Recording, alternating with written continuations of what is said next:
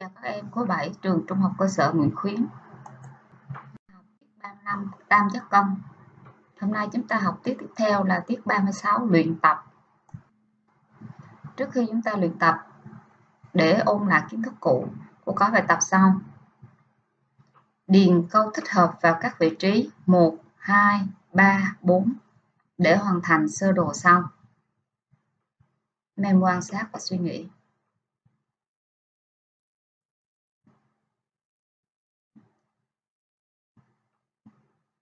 Rồi chúng ta trả lời. Số 1. Tam giác có một góc vuông là tam giác vuông. Tam giác có hai cạnh bằng nhau là tam giác cân. Tam giác vuông có hai cạnh bằng nhau hoặc tam giác cân có một góc vuông là tam giác vuông cân. Số 4. Tam giác có ba cạnh bằng nhau hoặc một tam giác cân có một góc bằng 60 độ là tam giác đều.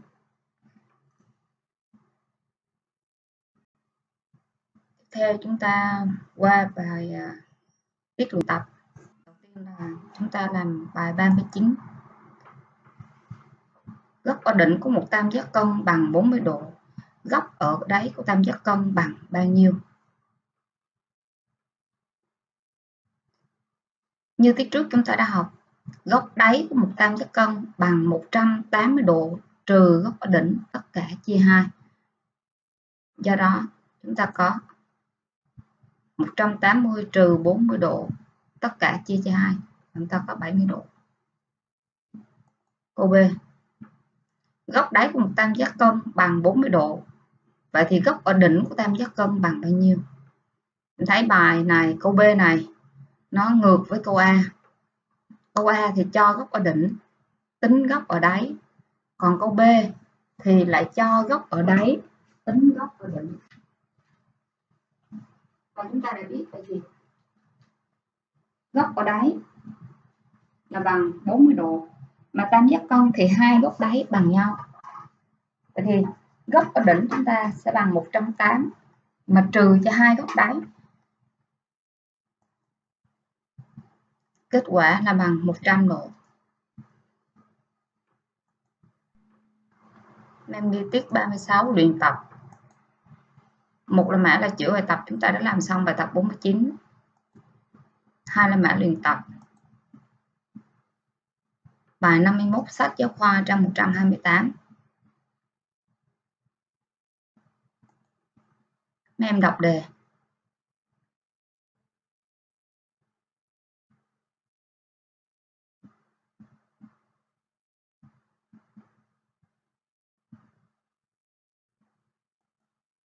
Hãy vẽ hình và ghi giả thiết kết luận.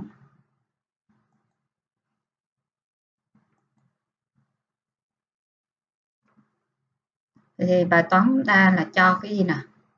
Cho tam giác ABC cân tại đỉnh A.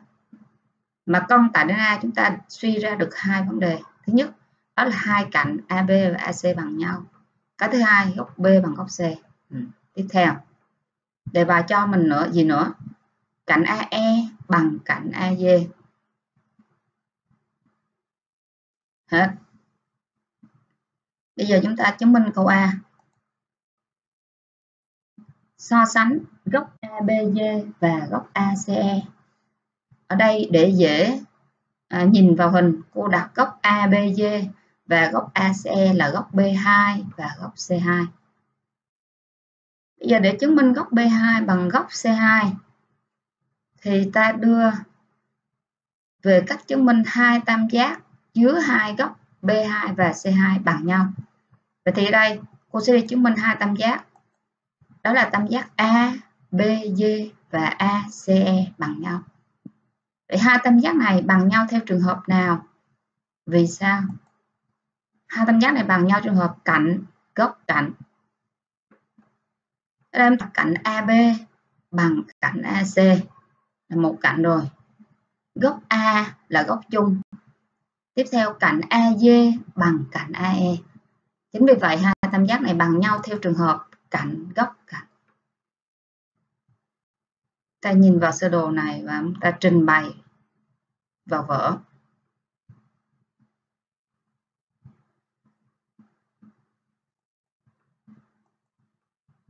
Cô đã trình bày trên bảng. Em kiểm tra so với bài làm của mình đã chuẩn và chính xác chưa?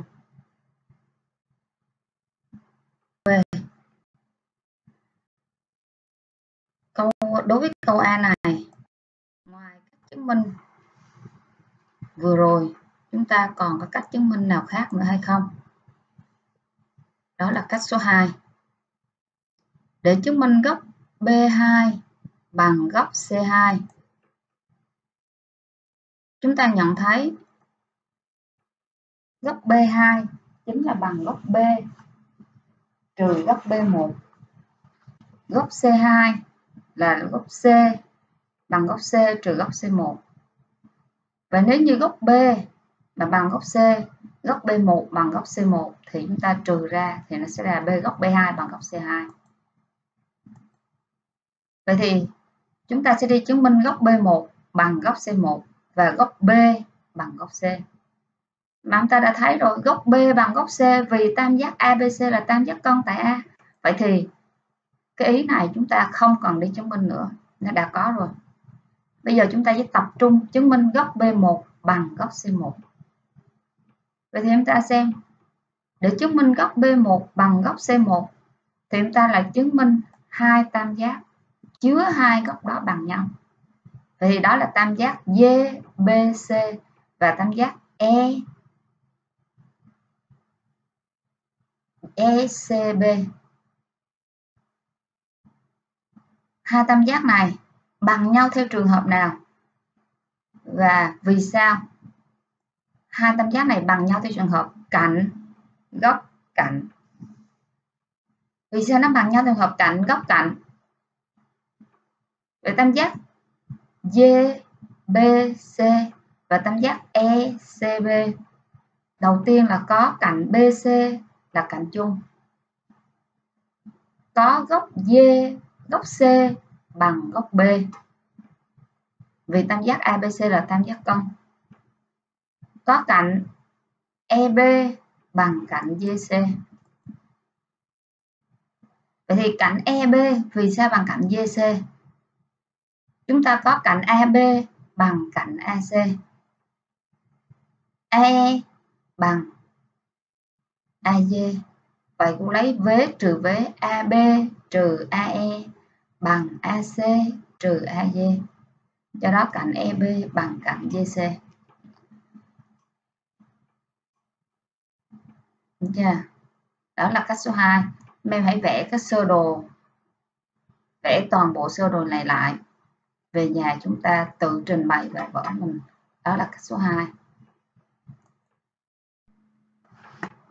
Bây giờ chúng ta sẽ đi qua câu B. Là tam giác IBC là tam giác gì? Vì sao? Tam giác IBC ở đây mấy em xem. Nếu như hồi nãy chúng ta chứng minh câu A dựa vào cách số 2 là chúng ta đã thấy góc B1 bằng góc C1 mà góc B1 bằng góc C1 thì tam giác IBC là tam giác cân nha. Bây giờ chúng ta sẽ đi chứng minh tam giác abc là tam giác cân bởi vì chúng ta trình bày là câu A làm theo cách số 1 cho nên giờ chúng ta phải đi trình bày lại câu B. Để chứng minh tam giác abc là tam giác cân thì ta có góc B bằng góc C, vì tam giác ABC là tam giác cân góc B2 bằng góc C2 vì chứng minh trên. Vậy thì cô sử dụng quy tắc vế trừ vế cô lấy góc B trừ góc B1 góc B trừ góc B2 bằng góc C trừ góc C2 thì lúc này cô sẽ có góc B1 bằng góc C1 yeah, góc B2 bằng góc C2 rồi góc B bằng góc C cho nên suy ra góc B trừ góc B2 bằng góc C trừ góc C2 ta rút ra tam giác IBC là tam giác cân tại đỉnh Y.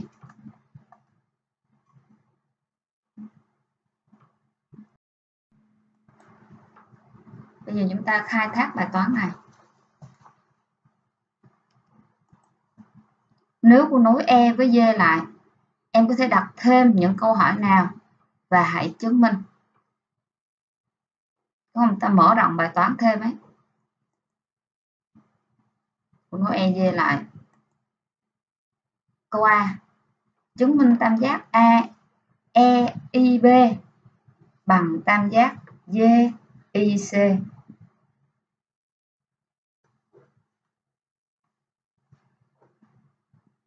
Bây giờ chúng ta xem tam giác E I, B và tam giác D I, C. Hai tam giác này bằng nhau theo trường hợp nào? Vì sao? Chúng ta thấy tam giác EIB và tam giác JIC có góc EIB bằng góc JIC vì hai góc đối đỉnh rồi góc B2 bằng góc C2 là ta đã chứng minh rồi, câu A rồi cạnh IB bằng cạnh IC vì tam giác IBC là tam giác cân cho nên hai tam giác EIB bằng tam giác DIC theo trường hợp góc cạnh góc. Đó là cô mới khai thác bài toán, thêm câu C. Câu D. Chứng minh tam giác AED là tam giác cân. Tam giác IED cũng là tam giác cân. Và ED song song với BC. À, câu D này cũng khai triển thành ba câu ba câu nhỏ ba bài toán nhỏ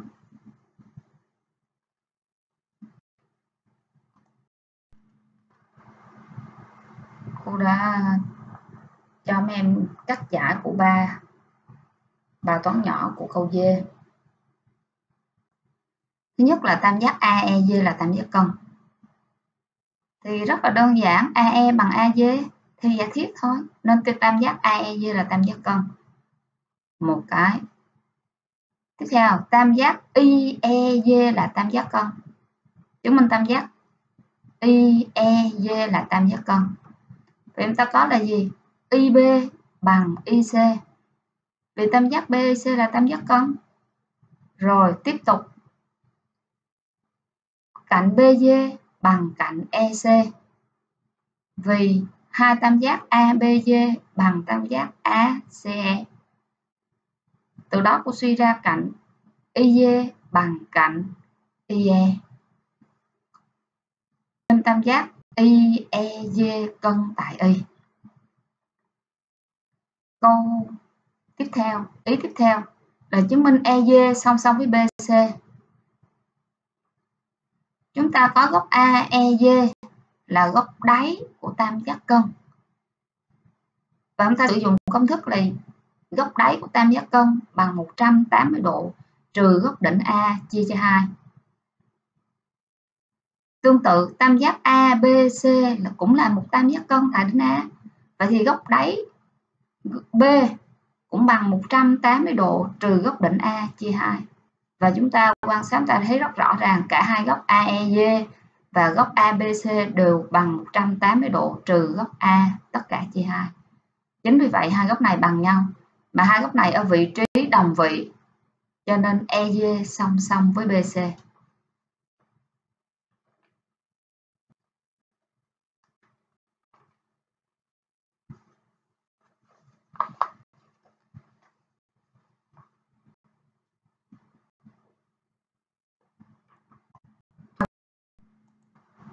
Đó là bài tập 52 trang 128. Cho góc XY có số đo bằng 120 độ. Điểm A thuộc tiêu phân giác của góc đó. Từ A kẻ AB vuông góc với tiêu X, kẻ AC vuông góc với tiêu Y. Tam giác ABC là tam giác gì? Vì sao? Cô đã vẽ hình. Ở đây em nhìn thấy em dự đoán được tam giác ABC là tam giác gì nào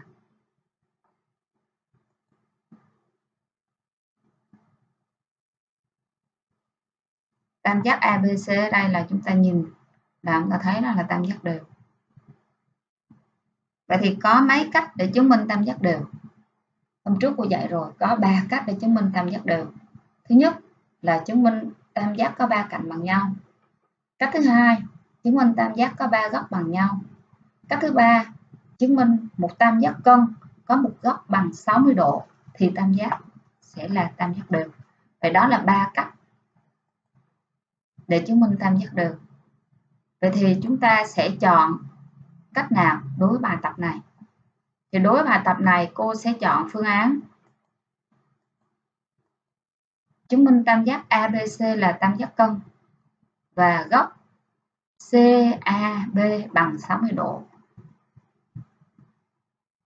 Chúng ta sẽ có hai vấn đề cần để chứng minh ở đây. Tam giác ABC cân và góc CAB là bằng 60 độ. Bây giờ chúng ta sẽ đi chứng minh tam giác ABC là tam giác cân.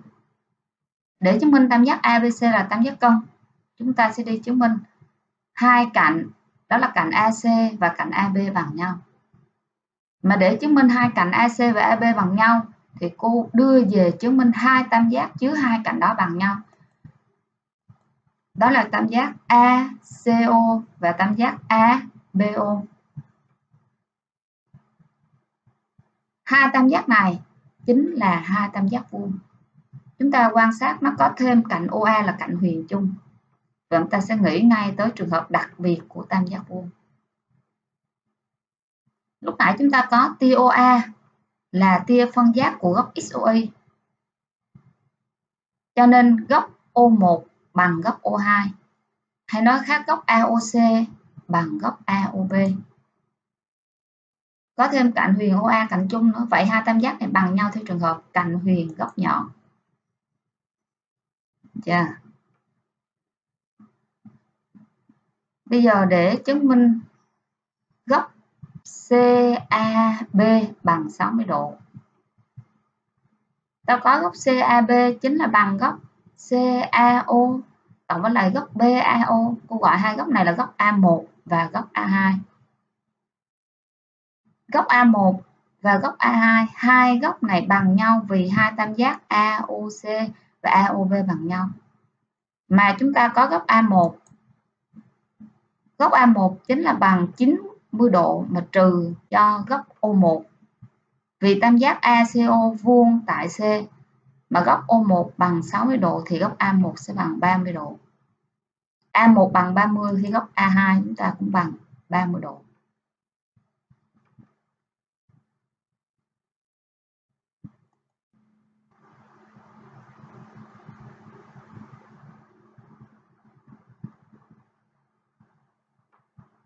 Chúng ta vừa mới đi xong hai bài tập 51 và bài tập 52. Bài tập 52 thì mấy em vẽ lại sơ đồ và trình bày lại trong vở.